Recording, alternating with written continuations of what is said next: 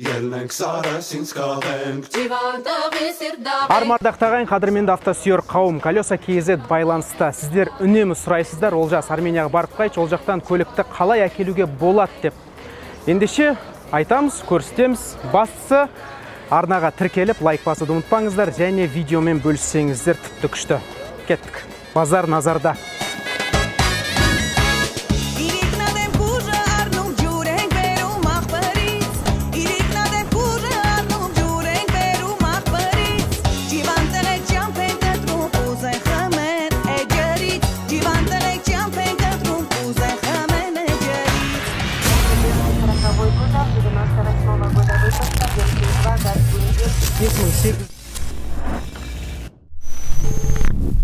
Кезінде армения мен ксро құрамында болдық. Ал қазір евразиялық экономикалық одақтамыз. Одан басқа бізді байланыстырып тұрған ортақ мәдени мұраларымыз жоқ. Сондықтан құрғақ фактілер мен деректерді келтірейін. Арменияның аумағы 29 мың шаршы шақырым бір ақтөбе облысына 10 армения сыйып кетеді екен. Армяндардың жер жаһандағы саны 11 миллионнан асса тек қана 3-ақ миллионы арменияда өмір сүріп жатыр. Бұл мемлекеттің алфавиті өзге басқа мемлекеттердің әліпбиіне мүлдем ұқсамайды. Ал жақында арменияда революция болды. Билікті басып алып тақтан түспей қойған серж саргисянның орнына оппозиция өкілі никол пашинян келді. Оны халық полиция тіпті әскерилер қолдаған. Бірақ сіздерді арменияның саяси процестері мен демократиялық бағыты қызықтырмайтын шығар. Сондықтан әңгіменің арнасын басқа жаққа бұрайық. Астраның универсал нұсқасы ал мынау седан. Армяндар тбилисидегі авто папа базарынан арменияға әкеледі кедендік алым салықтан тазартқан соң мына жақта 2500-2700 доллардан сатады. 4-5 жыл бұрын менде тура осындай төртінші гольф болған. Мынау бізде 2003 жылғы қозғалтқыш көлемі 2 литр ереванда бағасы 3200 доллар. Достар арменияда мынандай приус 10 мың доллар тұрады. Ал грузияда приус деген қазақстандағы нексия сияқты таксиге арналған. Мынау бізде рестайл 2010 жылғы 4 цилиндрлі қозғалтқыш көлемі 1.8 электро қондырғысымен. 2010-2011 жылдары алматыда америкалық көліктер қаптап кеткен. Естеріңізде болса тура сол жағдай қазір арменияда. Мінекей менің ә, оң жағымда тұрған FX Infinity 10 мың доллар сұрап тұр бағасы. Тура жанында Ford Mondeo 10200 көлік иесінің айтуынша ал мынау Hyundai Tucson бұның да бағасы 10 мың. Достар бірден ескерту жасай кетейін сіздерге айтпат демеңіздер. Қазіргі таңда армениядан көлікті әкеліп біздің мемлекетте жүргізуге болады бірақ бұл уақытша. Қазіргі таңда өзге мемлекеттен келіп жатқан көліктердің дені армениядан ресейден және қырғызстаннан кейбір көлік жүргізушілері жол ережесін елемейді. Көлік апаты болған жерден кетіп қалады. Оларға айыппұл салудың механизмі әлі реттелген жоқ. Сондықтан жуырда бір нақты заң қабылданады. Индустрия және инфрақұрылымдық даму министрлігі бұл заңды міндетті түрде қолдайды әрине.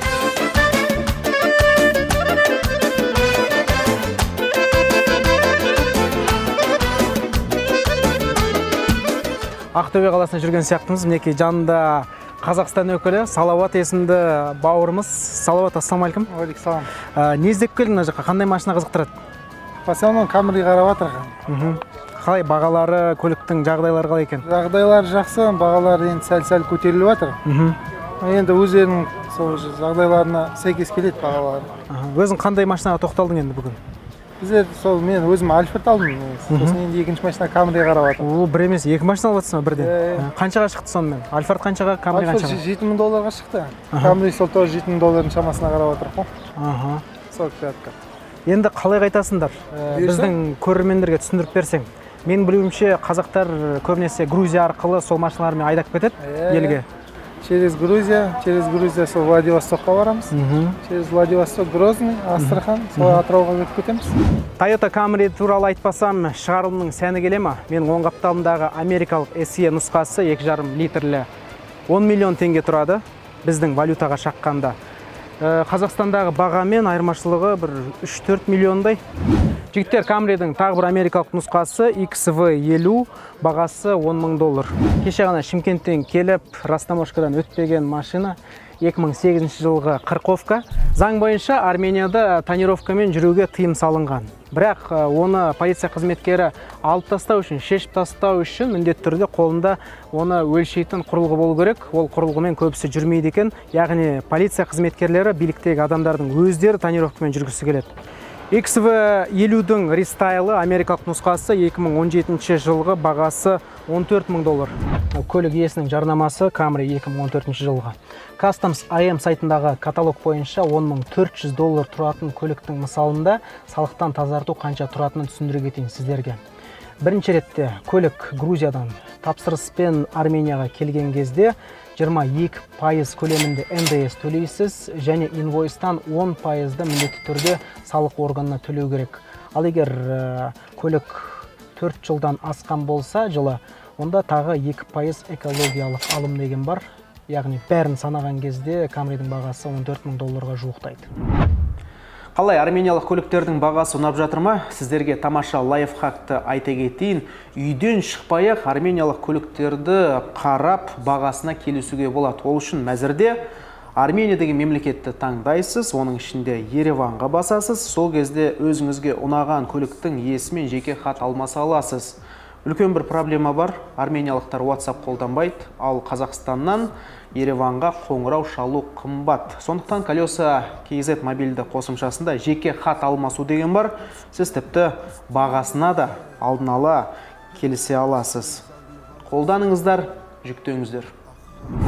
Ел азаматтарының мыңдаған шақырымды еңсеріп арменияға баруы жақсылықтың нышаны емес. Яғни біздің халыққа арзан және сапалы көлік ауадай қажет. Біреуге машина деген жай ғана қозғалыс құралы ал көбісі үшін ол ә, кәсіп көзі ақша табудың амалы. Осыны біле тұра кедендік одақтың шарттарына келісу нағыз бассыздық. Егер одақтағы санаулы мемлекеттермен бір дәрежеде сөйлесіп шарттарды өзімізге ыңғайлай алмасақ өз мүддемізді қорғай алмасақ бұл одақтан не пайда бізге?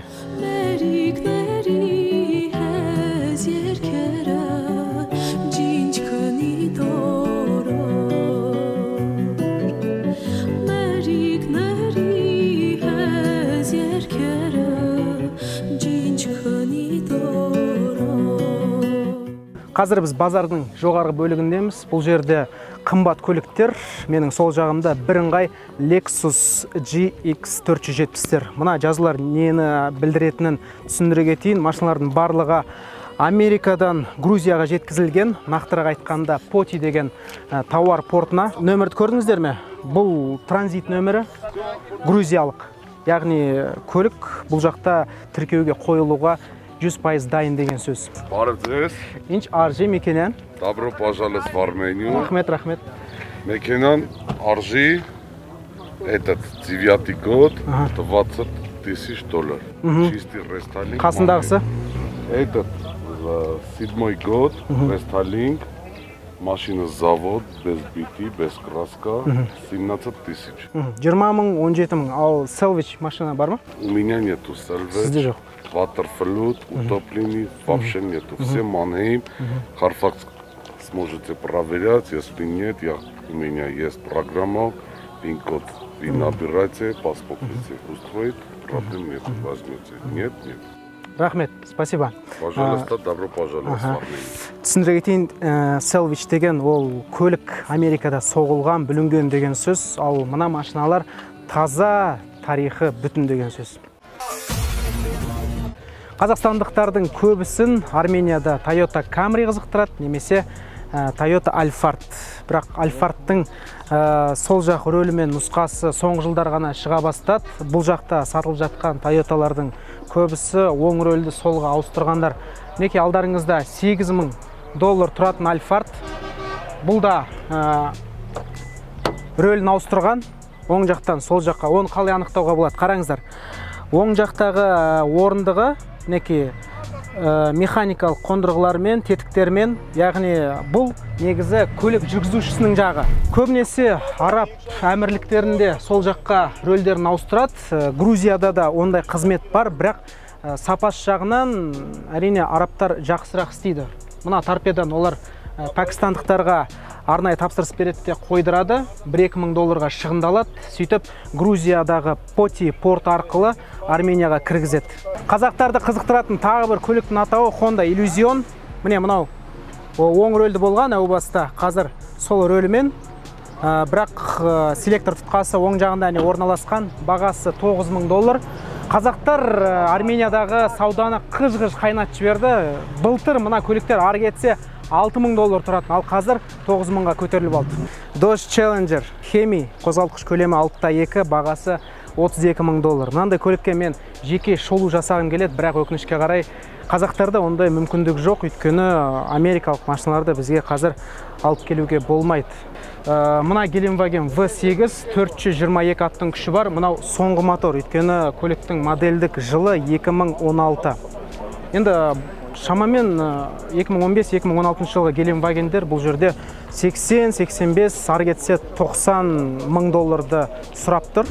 Арменияда 2014 жылдың 10 қазанына дейін тіркелген көлікті сіз қазақстанға әкеліп өз атыңызға рәсімдей аласыз. Бірақ кеденде сізден алғашқы алым мен утилизация үшін салық сұраған кезде шашыңыз тік тұрады. Және көліктің өзі экономикалық одақтың талап шарттарына сай келмеуі мүмкін. Сондықтан бұл вариант болмайды бізге. Тағы бір нұсқасы бар. Сіз арменияға ұшып келесіз. Осы жердегі геворг зураб немесе баградтың үйінде уақытша тіркелесіз де көлікті өз атыңызға жазып аласыз. Яғни армениялық тех паспортпен қазақстанға қайтасыз. Негізінде заң бойынша армениялық номері бар көлік жыл сайын техникалық бақылаудан өту керек. Бірақ қазақстандағы машиналар не жыл сайын шетелге барып жүр деп санайсыздар ма? Олай емес. Елімізде жемқорлықтың жайлағаны соншалықты алматыда 8000 теңгеге техникалық бақылау талонын сатып алуға болады. Бұл енді сұмдық. Миға сыймайтын нәрсе. Бірақ уақытша шығар енді кім біледі. Алматыда көліктерді тіркейтін жерді арнайы халыққа қызмет көрсету орталығы деп атаса ә, ереванда оны жай ғана гаи немесе мрео деп атайды екен. Мына ұзын сонар кезектің ұшы қиыры көрінбейді.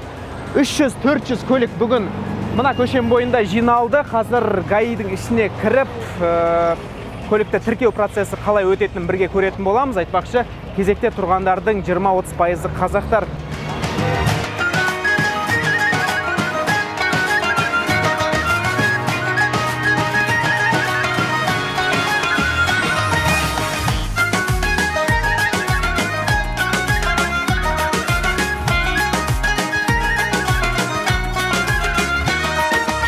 Жаңа ғана қуанышы қойнына сыймаған қазақтар. Менің көзімше Toyota Camry 40 пен 50-ді алып кетті. Қазір енді қазақстанға аттанып барып жатыр.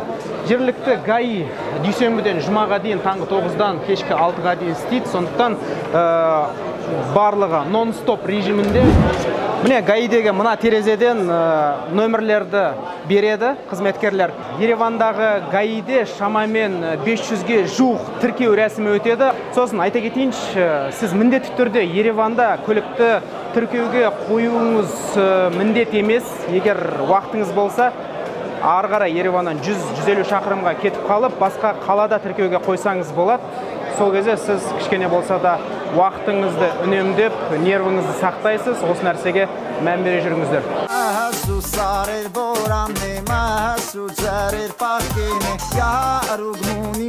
сонымен достар арменияда сатып алған көлігіңізбен қазақстанға қайту үшін бірінші ретте сізге уақытша тіркеу керек. Кез келген армения азаматынан оны жергілікті азаматтар 50 долларға іске асырады. Сосын машинаға сіз сақтандыру жасау керексіз шамамен 30 доллар тұрады. Машинаңызды арменияда тіркеуге қою үшін тағы да 50 доллар төлеу керек. Сосын жеке меншікке салықты төлеу керек.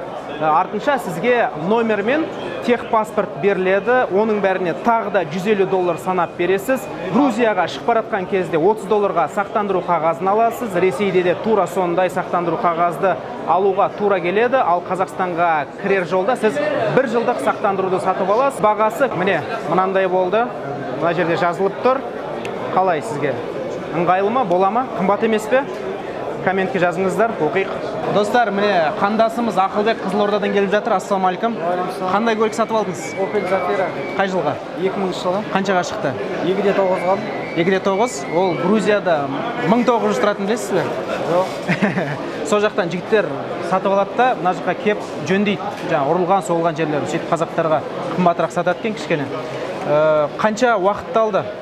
Рәсімдеу тіркеу номер алу деген сағат сияқты. уақыт екі сағат уақыт кетіп жатыр ғой. Кезекте тұрғанда? Кезекте тұрғанда ол төрт бес сағат кетеді төрт бес сағат. Аха енді қай жол арқылы қайтасыз? Төменгі ма жоғарғы жақпен ба? Төмен грузиямен кетемін ғой төменгі жолмен кетеміз через грузиямен россияға Э, жолда қанша ақша кетеді деп жоспарлап отырсыз? Бензині бар тамағыңыз бар? Барып келуің екі жүз елу мың кетеді ғой теңгемен барып келуі. Барып келуге документ бәрі как положено жолда сіз асықпай жүресіз бе әлде? Асықпай жүремін. Демалып иә? Демалып асықпай аңырататын жігіттер де бар ғой түнімен күнімен көп ондай біз асықпай демалып барамыз. Депутат павел казанцевтың айтуынша жуырда ә, шетелдік ә, нөмірі бар көліктерді міндетті түрде ә, тіркеу іске асырылады. Сондықтан сіздерге айтарым достар әбден ойланыңыздар армениядан көлік алам десеңіздер. Жеті рет өлшеп бір рет кес дейді ғой. Егер сіз ештеңеге қарамай көлікті сатып алам армениядан деп шешім қабылдасаңыз өзімнен кеңес берейін. Неғұрлым арзанырақ машина сатып алуға тырысыңыздар. Егер қымбат болса көлігіңіз ертең күйіп қалуыңыз мүмкін. Сонымен армениядан көлік сатып алудың негізгі плюстары бұл жақтың машиналары тың және ол көліктер толықтай сіздің атыңызға жазылады. Ал минустары әрине шетелдік ә, нөмірмен қазақстанда жүру қауіпсіз емес. Болашақта бір қатаң заң қабылданса барлығын шетелге айдап шығарып жіберуі мүмкін. Тағы бір негізгі минусы ол сол нөмірдің өзі. Екі әріп көзге түрпідей көрінеді. Бірақ есіміңіз амиржан болса және сіз псевдодемократ болсаңыз жараса береді. Келесіде көріскенше аман сау болайық. Міндетті түрде пікір жазыңыздар. Келесі жолы базар назарды қай жақта түсірейік. Марстан болса марстан ақ түсіріп береміз. Аман сау болайық.